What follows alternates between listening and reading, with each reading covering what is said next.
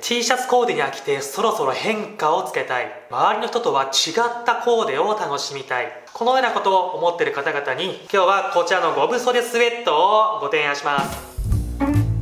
全部で3色ありますがまずはこちらのチャコールから全身モノトーンで統一したコーディネートです。色味が落ち着いているのでカジュアルなスウェットも、重厚感のある雰囲気に仕上げてくれます。クールで男らしい印象に見せたい方にもおすすめです。次にですねブルーグリーンのスウェットにベージュのシャツチェスターコートを羽織ったワイヤインシルエットのコーディネートです。こちらのブルーグリーンとベージュが初夏にぴったりな爽やかな印象に仕上げてくれるんです。もちろんですね、まあ、気温に合わせてシャツチェスターコートを脱いでスウェットをメインとしたコーディネートも作れます。次にベージュのゴブ袖スウェットにカーキのリネシャツを合わせた着こなしです。アースカラー同士の配色が大人っぽいナチュラルなコーディネートに仕上げてくれます。リネンシャツをこちらのシャツチェスターコートに変えたコーディネートです。同じベージュ系でもですね若干の色味の違いで生まれるグラデーションがこなれた印象に仕上げてくれるんです。それでは次にこちらのスウェットの特徴をお伝えしていきます。こちらのブロスレスウェットはこのようにゴブ袖になっていましてなおかつドロップショルダーで型落ちしています。なのでゆったり感があるシルエットで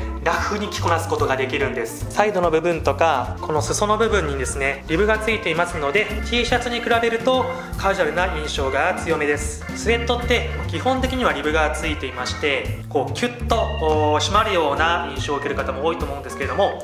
こちらはサイドにスリットが入っていますので比較的、えー、ゆったりしてるんですね。なので、まあ、より今風でなおかつちょっとアクセントをつけたようなコーディネートを作ることができるんです。またですね、えー、おしゃれ着としてはもちろんなんですけれどもスウェットなので、えー、着心地が良くてですね部屋着として使うのもおすすめなんです。以上ですね。こちらの3色のスウェットを使った着こなしとかまたアイテムの特徴をお伝えしてきました。もし気になった方は概要欄に貼ってある URL から詳細をご覧ください。D コレクションでは毎日おしゃれに役立つ動画を配信しております。もしよろしければチャンネル登録をよろしくお願いします。本日もご視聴いただきありがとうございました。